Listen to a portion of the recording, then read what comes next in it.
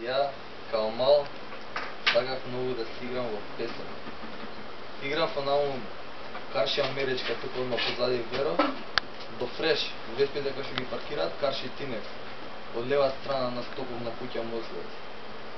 И секој ден, кога се шетав, купував карти од билетарата на Македонија. Е, бер. Еј, кај да го пуштам па, ченелот? Да. Тука? Изумира го меа малце.